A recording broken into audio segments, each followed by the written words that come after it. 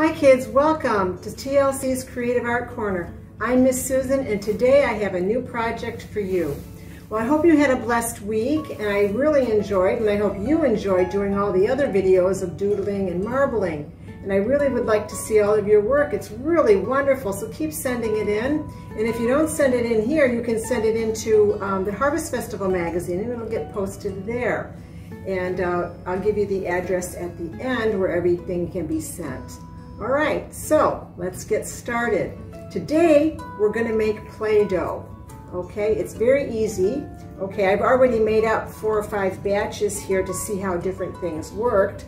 Okay, so so anyway, the things you will need are flour, salt, okay, oil, and it can be any oil, but I do not recommend coconut oil. I made this one with coconut oil. Not happy, not happy. But I thought the olive oil was the best. Of course, this is, you know, extra virgin. You don't need that, I'm sure. Anyway, um, you need that, and you'll need measuring cups, measuring spoons, um, water, okay, food colors, one for each bowl because you'll need five mixing bowls, one for all the big dry ingredients to be mixed in, and then four separate bowls for each color because I'm, you know, the, the recipe's for four colors. But the one I'm demonstrating today is just going to be one for one color, okay? But the measurements will be there right on the screen, okay?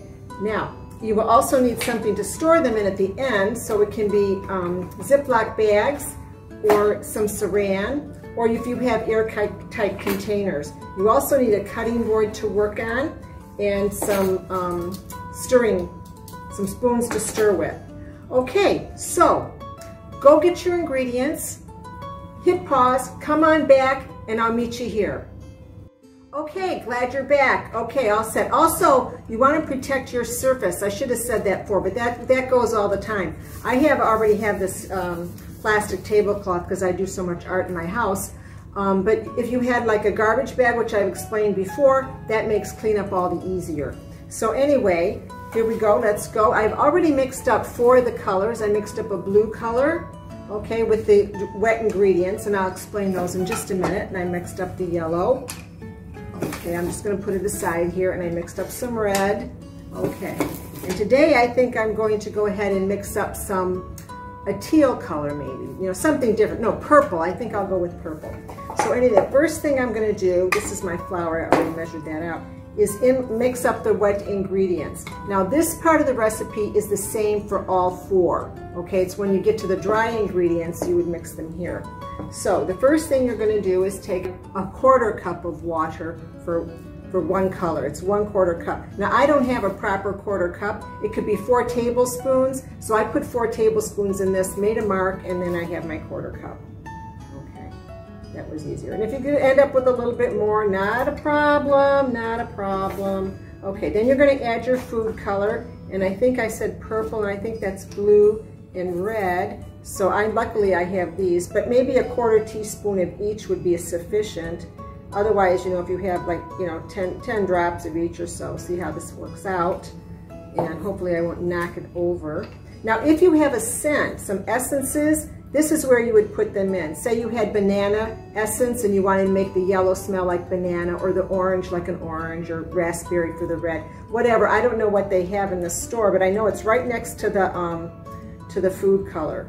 Okay, and then you're gonna stir this together. See what color you get. Oh, this is more blue than red, so I'm gonna add more red. I kind of wanted purple. I don't think these food colors make a good purple. It seems to me they don't, but I'm just gonna try. It doesn't hurt to try. No. This, this um, thing of mine isn't working that well.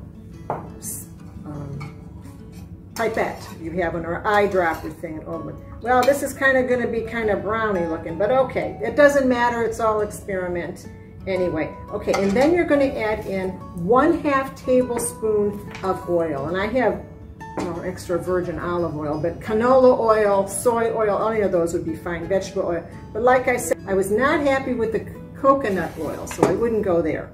Okay, so you're going to mix this. Okay, it takes a few stirs. Okay. And now oil and water doesn't mix, so don't get all, you know, like, oh, it's not mixing. It's mixing, it's there. Okay, it's just not um, what you think it is. You, you, you, know, you, you think you want one looking liquid, but it's okay. So you set that aside. Now, now I already measured out one cup of flour, okay, because I'm only making one quarter of the recipe because I already have all my other colors. I have one cup of flour. Now, if you're doing all four colors, you would put four cups of flour in a bigger bowl, okay? Now I'm going to put six tablespoons of salt. Now six tablespoons is a little bit over between uh, a one third and one half cup, you know? So I'm just measuring them this way. One, two, three.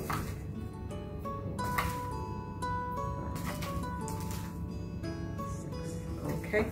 So, and then I'm going to mix it together. Now, in this bowl, it would be one and a half cups of salt. Now, this recipe I got from Before and After TV on YouTube, and uh, she was explaining that this is without um, cream of tartar. Cream of tartar is some kind of, uh, the extra salt here will preserve it. So this should be good for about a, a month if you keep it keep it correctly. And then you just mix it together. You can use your hands or a spoon. I like to since this is already a hands-on activity, you might as well use your fingers, you know, why not? Get into the feel of it. Yes, it's great.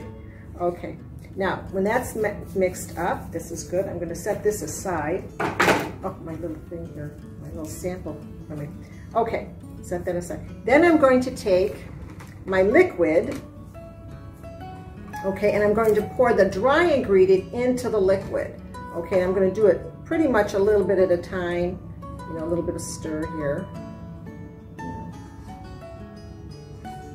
Yeah, this is a darkish, sort of a dark purple. That's, maybe it'll be interesting. Okay. I guess if you use less, you would get a nice little violet color or lilac color. But you know, you play with it. You know, you're a lot more creative than me. I'm just kind of giving you a a head a, a start here. You know, I want you to take it out of the box. You know, take it a step further. Okay, that's looking okay. Now I'm going to add the rest of it.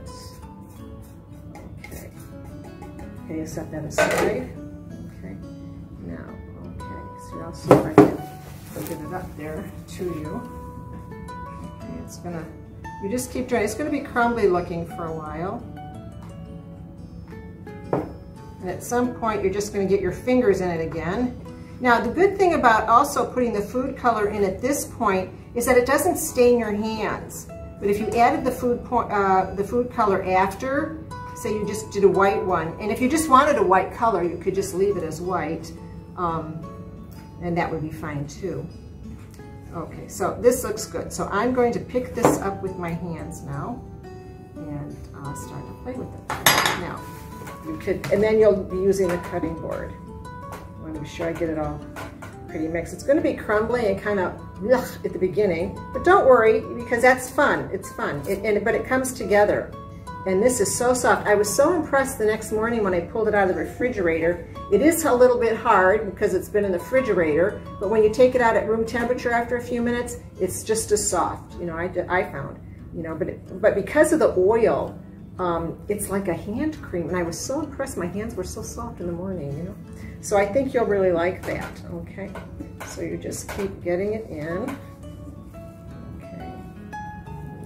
And at some point, you can put it on the, the board here. And if it's too too dry, you know, because everybody does it a little bit different. You might end up with too much flour, a little too much water. So if it's too dry, uh, you can add a little bit more water. Or if it's too wet, you add more flour. And you can put the flour here, as like I, put this, you know, you know, you know, like you're doing a pie pastry or something like that. And I'm sure mom will help you. Yeah, so here you go. All right, there's more here. Gotta work it all in. Okay, great. Okay. Yeah, and this is a real good activity to develop your finger skills, your motor skills for uh, those kids that are in like kindergarten or um, you know pre-kindergarten and first grade to develop their skills for, for writing and things like that. It just develops the fingers for holding pencils and pens and this, this kind of thing. So it's very nice, very nice. Yeah, and I'm sure you can be really creative and do things. Now, oh yeah, this is coming together quite nice. Now because of the flowers all over the place, I'm going to not get, get it all in. Now it feels a little bit gritty because of the salt, but I don't think that that's an issue. I mean, it's, you know, don't eat it. You know, this isn't, you know, just because it might smell like something if you put an essence in it doesn't mean you should really try, try uh, eating it.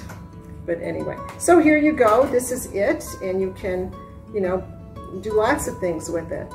Now I tried to make a little pinch pot here, but then it, I put something on top of it. Oops, here I'll show you. And I just did coils of different colors, you know, and then sort of smushed it together. Now if I wanted to keep this permanent rather than, you know, take it apart and do something else with it, I could bake it in the oven at 350 degrees um, Fahrenheit. Let, let, me look my measurement, because uh, I don't have an oven.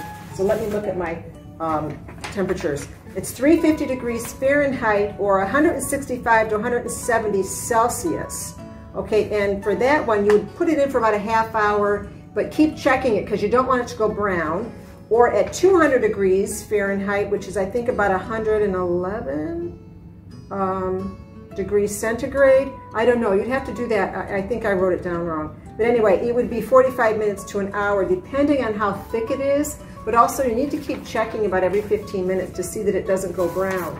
And then when it comes out and it's cool, you can put a varnish on it or a shellac, and um, which you can get really cheap. You can get one of those spray stuff that from the um, even City Center or Star City rather, and uh, the co-op, yeah, the co-op pharmacy. So that was one thing uh, you can do with it, you know, or just to play with it and, you know, build things, you know. I mean, you could build something like that. Or I tried a face the other day, but it fell apart because I didn't take care of it right, you know. But anyway, so there's lots of things you can do, and I, I like rolling it. And of course, I got all this stuff. So this is a purple I came up with, but um, yeah, that's good.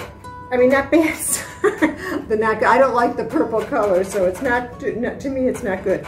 Okay, yeah. But you can experiment. You can make orange. I was making the orange color. I was able to, to get an orange, but this is the one I did with the canola oil, and I'm not as happy as I am with it as how soft these are. Even if you added a little more oil, it wouldn't be bad. This is still soft, you know? And it could probably be worked with a little bit, a bit more. But, you know, this is how you'd make a coil, you know? So there's lots and lots of things you can do, I'm sure. You, you would, you're much more creative than me. Figure it out. Yeah, so anyway, so do some projects and post them and send them to us, okay? You can send them to wetransfer.com and the email would be administrator at tlckuwait.com okay? And um, well, they'll be reviewed and then put on the site. So that would be great. And if not, if you want to send them to me for the Harvest Festival magazine, it would be M-A-E-B-E-A-T at yahoo.com. And the numbers will be there on the screen. Okay, so I hope you enjoyed this. Now, I'm going to add on to this another um, experiment that I did with hair conditioner and um, what is it called? Cornstarch. So I'll be adding that one right after this one. Now next week I'm hoping to do making watercolors from natural ingredients and we can try to do some painting with that. Okay, um, so that was the first recipe. Now I have a second recipe that does not include oil. It only has flour in it, salt, and water, and a food color if you, if you would like. Okay, now the first thing um, we're going to do, I already measured out, it's one cup of flour, and this recipe is from clemon.com, and they have lots of D DIYs for, for kids and everybody. It's great.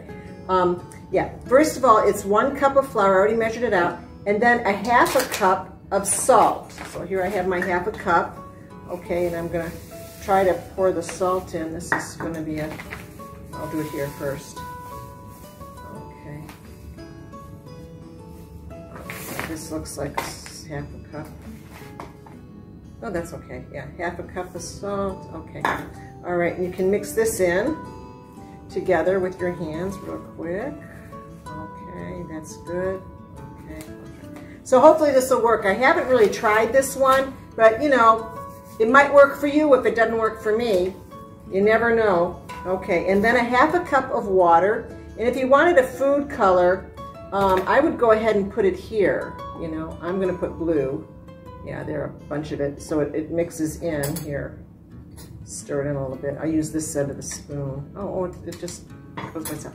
Okay, now you don't dump this in. You're supposed to add it gradually as you're working it in. You know, oops. Okay, this is part of it. You know, and start stirring it in. Little by little.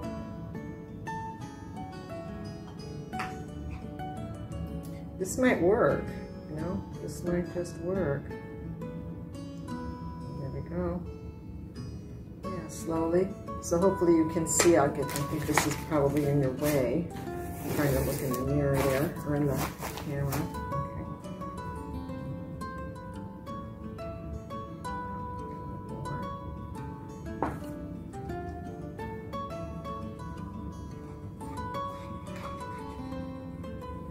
See, it's coming together. That's only about a quarter of a cup of water. Yeah. Okay, let's put a little bit more in.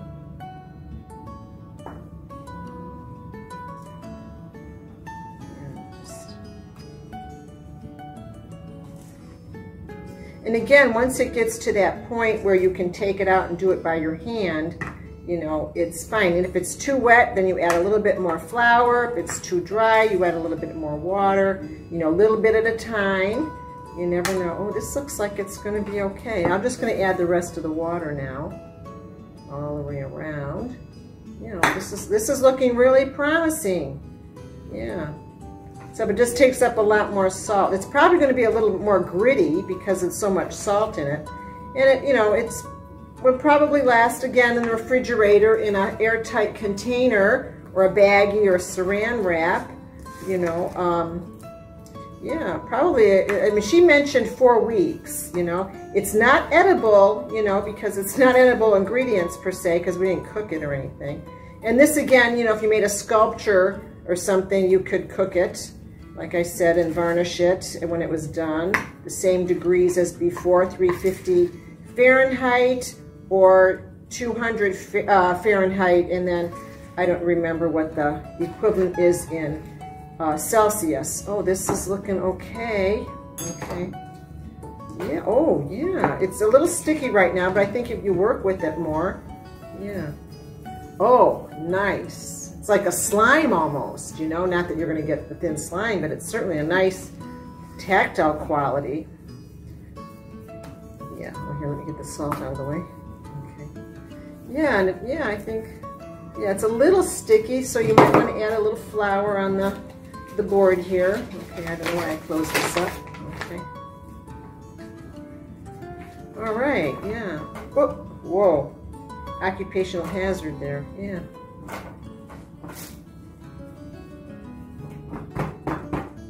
Yeah, it seems like, you know, slime is this way. You get all over your hands and it doesn't want to come off. Yeah, but I think this would work. This seems to be working. It's just a matter of getting the enough flour, but you don't want to add all the flour in the beginning. Yeah, here I'm going to add more flour.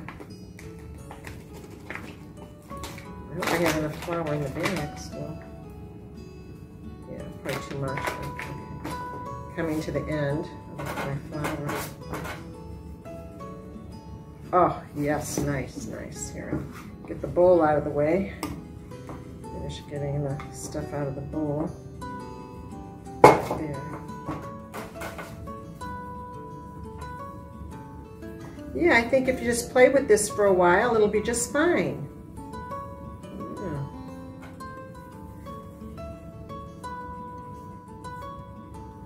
That's my suggestion. Just play with it for a while. Yeah. Before you keep adding flour, you know, I think you know, as you play with it, the moisture will just come out anyway with the heat of your hands and the air in the room, you know, whatever. But oh no, this is this is all right. I, am going to say this is a this is a go. You know, I would work with it a little bit more, but for the interest of time, yeah, I'm going to say this is a go. Yeah, look at that. Yeah, you can. It's moldable, that's for sure. You know. Wow, you can make a yeah, this would be fun to play with, you know, even at this um, damp stage, this would be fun to work with. Yeah, I'd give this a go for sure, for sure, for sure. Oh yeah, you could make one of those handprints here and bake. Oh, you have to put flour on your hand to do that though. Yeah, but no, this is, oh, this is, I'm happy here. I'm, I'm to be here all day. Boy, kids, you got me, got me hooked here. That's great. Okay, well, let me know how you think this recipe works. You know, if you try them both, let's, let's, you know, give me a comment. If you can, if there's a comment thing there on the YouTube, well, I'm making, making a lot of noise here. You know, it'd be great to hear what your comments are as well, you know? I would be very happy to know. Yeah, I'm going to say this is a go. I really like this, you know, even, even this sticky at the moment. But I just don't want to keep, you know, going because I want to show you one more um, variation you can try. You know, just, you know, why not? Nothing better to do. We've got a few more days of the lockdown. Um, you know, and then, you know, what's after that? Anyway, we don't know. So anyway, I'm going to put this aside and talk to you about the next one. Okay, let me wipe my hands a little bit. Okay, the second one. Okay. Now, the second one is with hair conditioner, okay? Now, you get the cheapest hair conditioner. This one is from uh, Crafty Girls uh, YouTube. Um, I don't know if it's craftygirls.com, but it's Crafty Girls YouTube, and they have got gazillions of things. They're, they're three girls, three sisters that do a bunch, of tons of DIY videos. So um, anyway, get this one, the scent that you like, because you don't need to add a scent. Eh, you could add a color, but this one looks like it's already green, so we'll just go with that. And um, it's this in cornstarch. So um, I know in America, you know, you go to the dollar store for a dollar, you can get, you know, VO5, I mean, a gazillion of these different brands um, with scents. I was at the co-op today and had a little bit of trouble finding something. This was all like, well, there was two I found, but this was, okay, I, the cheapest one I said. So this was the cheapest one I could find. But I'm sure if I went to other stores that were available. I already measured out one cup. This is one cup cornstarch, okay? And then a half a cup of, oh, my cup is dirty, but that's okay. Um, a half a cup of um, hair conditioner, okay? Now, they did it the other way around. They put the hair conditioner in the bowl first and then they put the thing. But I don't have a clean bowl, so I'm going to do it this way, okay? Put the flour in and then I'll add this. Okay. You know, I don't think it makes a difference. It's all going to be in the same thing. Okay. Let's see how this smells. Yeah, it doesn't smell whole. It's supposed to be jasmine fresh. Okay. Yeah.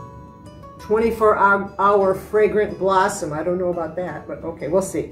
Okay, so there we go. We'll see what it does. Well, I'm gonna make this one. Okay. Take a spoon. And again, you know, if it's too dry, you know, you add more of the conditioner. If it's too wet, you add more cornstarch. Okay. Oh, goodness me. Let's see what it does. Let's see. I wonder if this could be done with flour as well. But no, Okay, let's see.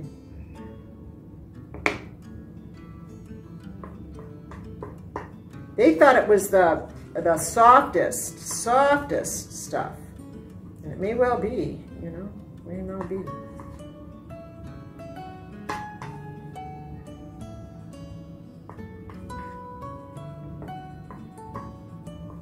Might be better to have a deeper bowl. I think that, you know, therein lies some of my problems because I don't have a deep, deep bowl I use, you know. But it, you know, it does. You use what you have. That's what you. That's the best stuff to use is what you have. Otherwise, you have to go out and buy something, and then it's not a. It's you know, it's not a economical adventure, and we want to try to just work with what we have in the house. This is probably going to be a little too wet at this point. Yeah, I can see it's real creamy and wet and lumpy, but I think you work that out. See?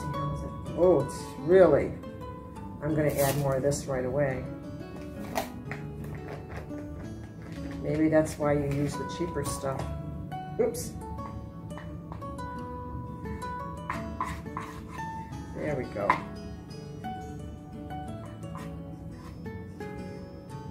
It's all manageable. I really think it's all manageable. It's just, you know, everybody's hand is different when you come to these things, you know. I think, you know. Five people can make the same recipe and you're going to get five different, whatever the recipe was of, you know. Okay, okay.